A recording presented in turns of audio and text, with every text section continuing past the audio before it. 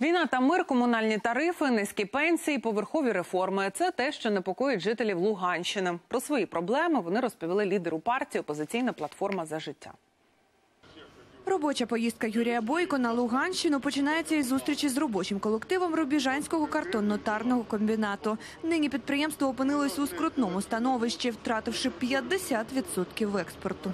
приняли санкции против России, Россия приняла санкции против нас в ответ. И что получилось? И предприятия, такие как вы, лишились рынка. А при этом мы продаем в Россию, как страна, товаров на 3,5 миллиарда долларов, а покупаем на 7,5 миллиардов. Питання, які непокоять людей, різні, але насамперед війна на Донбасі. Рада приняла, да, Парвану. А потом год прошел, как-то все забылось, а он до сих пор остался. И никто этот вопрос не понимает. Самый большой цинизм и э, преступление уходящей власти – то, что они воровали на войне.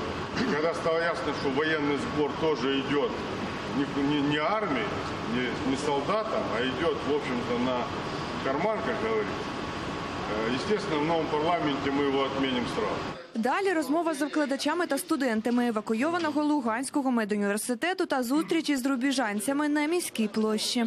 Зарплаты маленькие, очень много за коммунальное мы платим.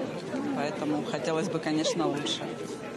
Хотя бы, чтобы тарифы немножко меньше были. До того ж у Лисичанську поклали квіти біля меморіалу загиблим воїнам. Далі спілкування з місцевими жителями. Мы будем продолжать прямые переговоры с непризнанными республиками, потому что мы должны договариваться и завершить это все мирным договором, восстановлением территориальной целостности нашей страны, возвратом этих территорий и людей в Украину.